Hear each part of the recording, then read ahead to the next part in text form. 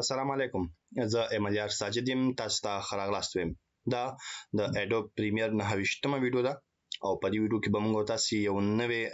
طریقه زده کوو چې څنګه کولای شو د نن ټکست کې یا لیکلو کې ویډیو راولو ما سره څلور ویډیوګانې دي زه چې کوم لیکل کوم هغه به سلور توري وي لکه زه به ټیک لیکم او هر توري کې به ما سره یو یو ویډیو پلی کیږي نو د هرڅ نه وړاندې خپل ټول ویډیوګانې ټایم لین ته راولو نو زه راځم لومړی سیکوینس جوړوم کنټرول ان پرس کوم نو ما سره به سیکوینس کوم باکس چې دی هغه به خلاصیږي او دلته اوکی باندې کلیک کوم نو ما سره سیکوینس جوړ شو راځو لومړنۍ ویډیو را اخلو او دلته دا ټایم لاین کې ډراپ کوو ورپسې راځو بل ویډیو راخلو دا هم دلته ټایم لاین کې ډراپ کوو او درېمه ویډیو هم زه ټایم لاین ته راولم او څلورمه ویډیو به هم زه ټایم لاین ته راولم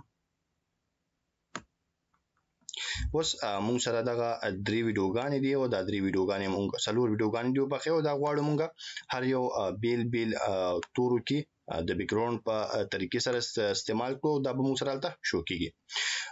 نو لومړی خو د دې کوم اندازه چې د مونږ سره د دې ویډیوګانې چې کوم سایز د مونږ سره او بخیر د چې کوم ډیوریشن دا ټول یو رقم ته نه دي نو دا غل پر مونږ کول شو له خپل کوم افیکټ د مونږ سره سپیډ اند ډیوریشن دغه په واسطه دا برابر کړو او که تاسو سره یو سایز یا یو ډیوریشن کې ویډیوګانې وي پروانه کې تاسو کولای شئ له هغه څخه ګټه واخلئ نو زه دې کوم سپیډ چې دی هغه لږ کموم تر څو موږ سره دغه اضافه شي نور موږ سره سي دي ځکه موږ لنډه ویډیو جوړو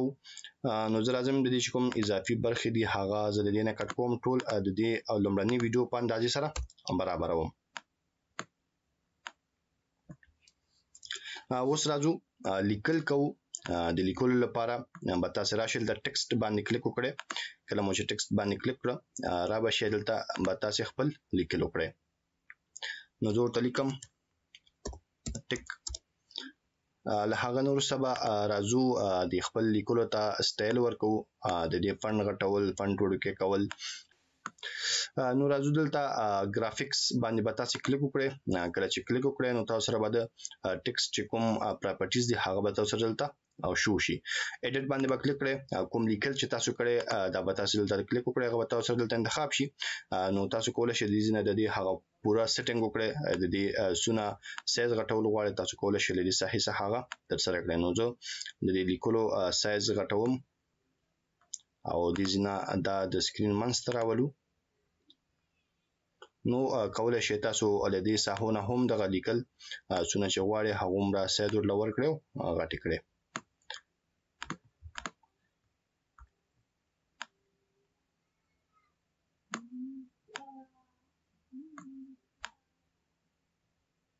اوس راځو دلته دته فنټ انتخابو کوم فنټ چې تاسو استعمالوي هیڅ مشکل نشته هر فنټ چې تاسو خوښوي تاسو کولای شئ لدې ساحې څخه ورته انتخاب کړئ خو عموما کوشش کوئ پیډ فنټ انتخاب کړئ تر څو تاسو کولای شئ کومه ویډیو چې دلته شو کول غواړئ یا خودل غواړئ په ډیر ښه طریقې سره شو کړئ شئ نو د ورته دا انتخاب وګورو دا به خوي نو د دې لپاره بدلک د دې چې کوم سایز د موږ سره هغه به موږ لږ تر کم کو د لیکلو لکه دا موږ سره فن هم بولګي او لیکل هم ما ډیر غټ کړي نو لګي نور هم کمو کله چې ټکس تیار شو زموږ لیکل تیار شو نو له هغه نه وروسته راځو دلته ګرافیکس ته به راشي ګرافیکس کې نیو لایر ته به راشي او دلته به ریکټنګل په نوم چې موږ سره کوم اپشن دی یا کوم شیپ دی هغه به راواخلې او په دې ټول سکرین کې به هغه خور کړی او خپل سکرین به پر کوم بیکګراوند چې موږ هلته واخیستو ریکټنګل پر هغه سټایل سره برابر کړی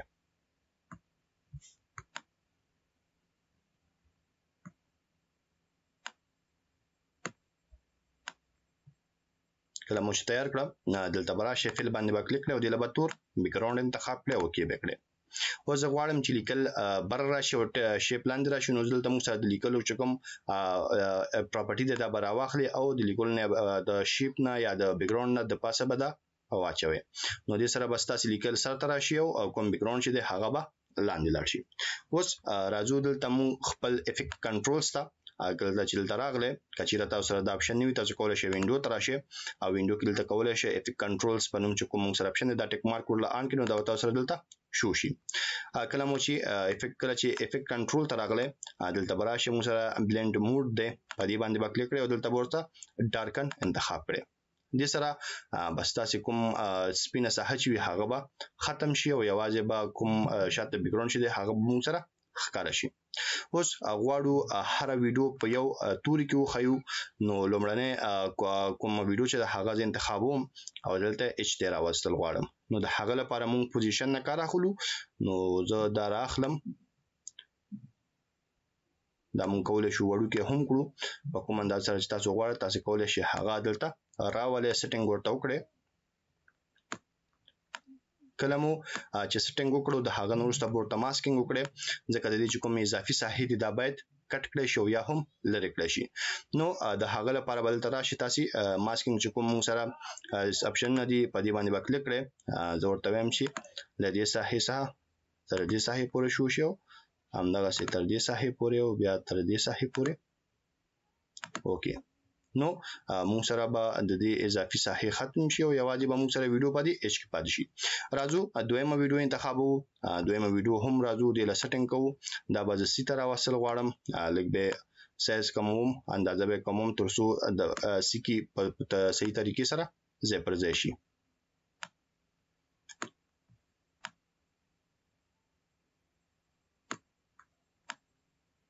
کله مو چې ځای پر ځای کړه نو بیا هم را به شي ماسکینګ ته او دا ټول به انتخاب کړئ یو کلیک بدل ته کوي تر څو موږ سره د دې چې کوم اضافي ساحې وي او د نورو تورو کې راځي هغه ختم شي یوازې موږ سره هم د امدیسي پورې محدود پاتې شي که چیرته دا ماسکینګ ونکړو نو موږ سره به د دې نورو ساحې چې د نورو تورو ته رسیږي نو هلته به هم شو کېږي نو تاسو ګورئ موږ سره دا ټوله ویډیو صرف همدې ستي پورې مربوط شوه اوس راځو بله ویډیو انتخاب وو انتخاب نور سره راځو لږ به سایز کم وو او له هغه نور سره به ورله سټینګ کوو تر څو موږ سره ای کې په صحیح توګه سره ښکاره شي نو بیا هم راځو ماسکینګ ته دلته کلیک کوو دا غنور سره ته وایو چې دې صحیح پورې د ویډیو موږ سره شو کړی شي له هغه نور سره د دې نه اخوا یا دې خوا د ویډیو موږ سره نه شو کیږي او لاس چې کومه ویډیو د موږ سره راځو هغه انتخابو له هغه نور سره راځو د لپاره هم سیټینګ کوو تر څو ټیک یې ځای پر ځای کړو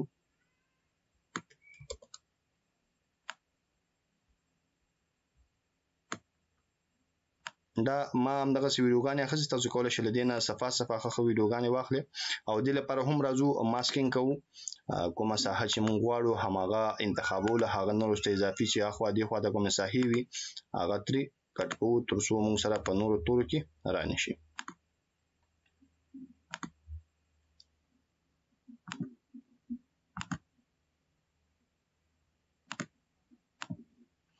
نو زمون کوم ویډیوګانې چې دي هغه مون سره ټکس کې اضافه کړی شوې اوس مون د دې ټکس چې کوم اندازه ده دا هم د ویډیوګانو اندازې تر سو اوس چې کله راشو خپل دغه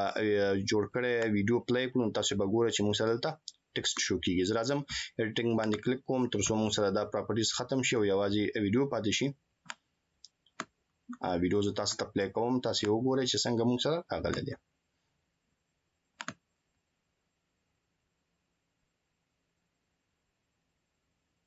نو تاسو ګورئ چې هر توري کې موږ سره بیلې ویډیوګانې دي چې دا ویډیوګانې هم درندې دي او زموږ کار هم لږ زر درون شو نو په صحیح توګه سره نشي پلی کېدلی دا به زه رینډر کړم دا به ایکسپورټ کړم له هغه نه وروسته به تاسو له زه پلی کړم نو اوس زه راځم ویډیو ایکسپورټ کوو فایل ته راځو نو فایل نو ورسته دلته راځو ایکسپورټ ته او دلته ورته میډیا انتخابو له هغه نور سره چې چېرته دا ویډیو موږ ثبتول غواړو او په کوم سیټینګ سره ثبتول غواړو هغه به موږ سره راځي نو زه به ورته دا ساحه کې دې ځای موږ کولی شو چې انتخاب کړو ویډیو چېرته ثبتول غواړو نو دلته ما ورته فولډر جوړ کړی دی هماغه فولډر ورته انتخاب او ویډیو ان ټیکسټ دا مې ورته جوړ کړی سیو باندې کلیک کوم ایکسپورټ باندې کلیک کوم نو زموږ دغه ویډیو چې دا به موږ سره ایکسپورټ شي لږ وخت باندې سي صبر بور ته کو تر څو زموږ ویډیو په خطر کې سره ایکسپورټ شي له هغه نور څه تاسو ته پلی کوم چې دغه افیکټ موږ سره څنګه اپلای شوی دی راځو ویډیو پلی کوو